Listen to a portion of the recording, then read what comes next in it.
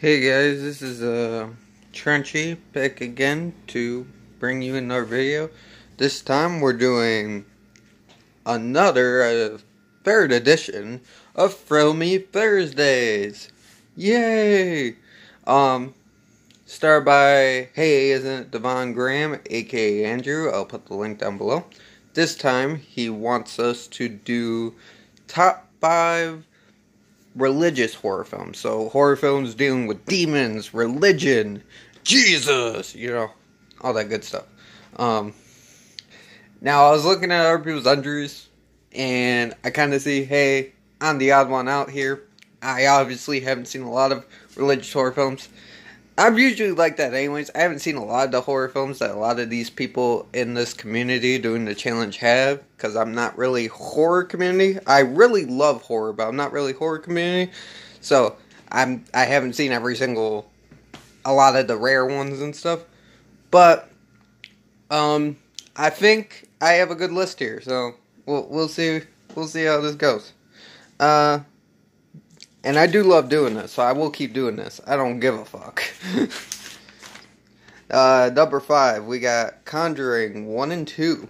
I couldn't I couldn't decide, so this list is kind of a cheat. this is kind of a cheat list. I got you'll see. There's another cheat on here too, but um, they came out. First one came out 2013. Second one came out in 2016.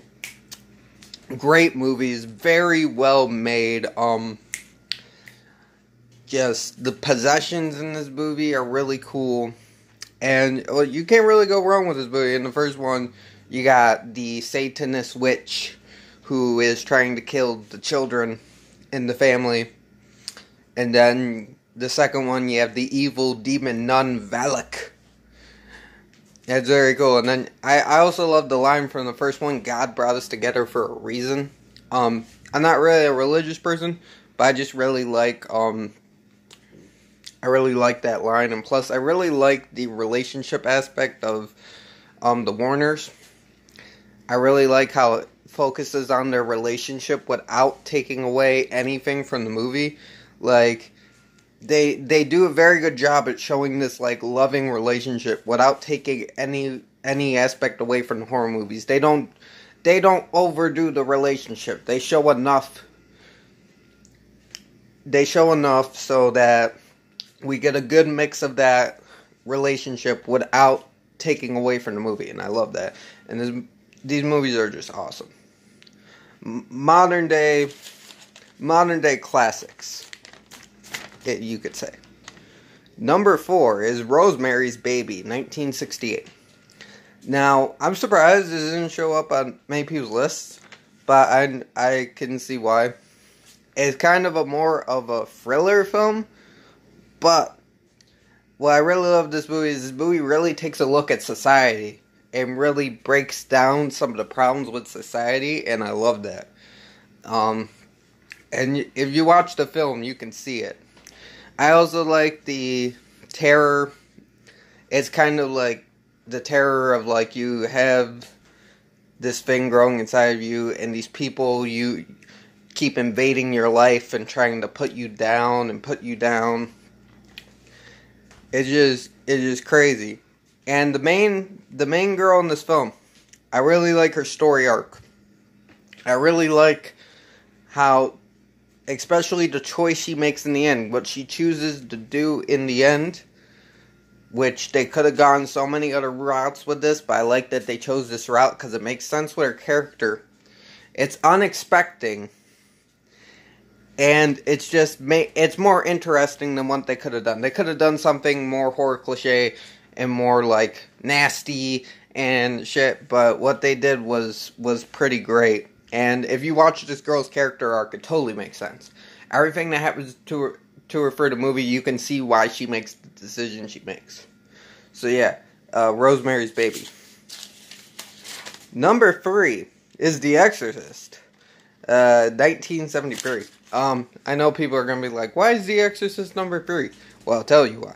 Um, I do really love The Exorcist, but the uh, two movies above it resonate with me more. Um,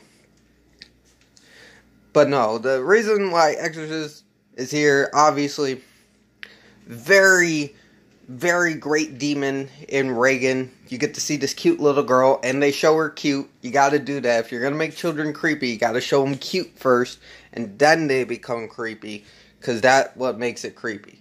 That makes it creepier. You can't if you jump right into Demon Baby, okay, whatever, cool, cool. But you gotta you gotta show them cute first. So you get the you got Regan, just this cute innocent little girl, gets possessed by a demon. All all of a sudden she's spewing pea soup over people. Shit get crazy. Other other thing I love about the story is there's an actual story arc for um the mother of Regan. She has a decent story arc and the priest. The priest has a great story arc. I love his story arc. I love how he has to actually he doesn't just show up and be like, "I'm going to exorcise your child." You know, he actually has to go for a story arc of his own. He actually has to deal with the inner struggles of losing his faith and all that. And we actually get a lot of time on him as well. So we kind of see Regan transform into this monster. Meanwhile, we see this priest kind of transform from this dude just trying to get by into this kind of hero. And it's awesome. Awesome film. Um, the Exorcist definitely has earned its spot in horror history where it is now like I said, there's two films that resonate with me more. But this film is great. Um, also, it, it, it does make me laugh. that I'll give it a bonus too. It does make me laugh. Um, and I will tell you the scene. It's not the scene where she's uh jerking off with the cross, but it's like right after that where she's like, "Suck my cunt, suck it, like lick it up." Like, uh, I'm I have a sixth sense of humor, me and my brother died laughing when we saw that. Um, we're we're sick motherfuckers. Um, number two on this list is The Omen, 1976. Again, the kid is cute. if you're gonna have these kids like doing this horrible shit, they gotta be cute. and the thing about this movie is it's the it's the fucking antichrist, man. It's the it's the fucking antichrist. Like how how do you get bigger than that? Like I know Exorcist was probably the devil, but I think that was just the demon or something. But in this one, it's the fucking antichrist, and there's a lot of great kills in this movie. Um, and like I said, it's scary because these people got to kill their child, and well, they got to try to kill their child, and uh, shit the ending is fucking crazy, and just shit. It's it's the fucking Antichrist. Like, just seeing the Antichrist as this cute little boy too. Is it this cute little boy? I'll keep going back actors. The, the the fucking children are cute. the the fucking kid is cute, so that's even more disturbing. It's not like the 2006 remake where the kid looks like he just came out of fucking the Children of the Corn or some shit, or fucking this kid that's like hanging out in fucking Hot Topic. I dress in all black with black hair. No, this kid looks like a fucking normal kid. I don't know what the Omen remake was thinking. but great though. Uh, I really like it when that woman hangs herself in the beginning too. I thought that was like very cool. Like she looks at the dog and then you see her later on the ledge and she hangs herself. Um, uh, it's just kind of cool how it's kind of like he has like mental control over people and shit. Very very cool movie, and I don't know. It, it seems like some of the times the kid doesn't even know he's doing it, which yeah is even creepier. So yeah, The Omen. My number two, and my number one from 1994 to stand. Um, again, I'm cheating. I know this is a mini series, but I love it so much. Um, I'm a huge fan of King, and this is one of his best works, definitely. And what is I like how it starts out as like just this regular, you know, apocalypse movie. This disease breaks out, people start dying But then some. It turns out some of these people are immune. And what happens is this Randall Flagg guy walks on the scene, the Dark Man, you know, and he starts recruiting some people and bringing them to Las Vegas. Meanwhile, other people start seeing this mother Abigail. They start having dreams of her, so they go to Colorado to meet up with her. And it's pretty much what happens is Randall Flagg's pretty much the devil, the Antichrist, whatever you want to call him. And Mother Abigail is a prophet for God. So you got the good people and the bad people. And, and even the good people are like kind of like in the gray area too, and some of the bad people are in the gray area. So it's very it's very interesting. And this movie has lots of memorable characters. Got Larry, got Stu, you got Nick, you got Nadine Cross, you got the Trash Man, one of my favorites. You got Randall Flagg. You got Franny. You got all these people. You got the you got the mentally challenged guy. Lots of lots of good characters. Um you got the prisoner dude that's like Randall Flagg's right hand man. Um, lots of great characters in this movie, and it's like this epic battle between good and evil for the for pretty much the future of humanity. And it's just epic and awesome and i love it. Um the stand will always be one of my favorite religious horror films because pretty much it's it's it's the it's a horror film meeting an epic. And I love epics and I love horror films. And this is uh this is that combining. And I I love it.